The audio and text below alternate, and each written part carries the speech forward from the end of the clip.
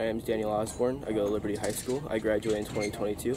I play third, and I'm a right-handed pitcher. My GPA is 3.1.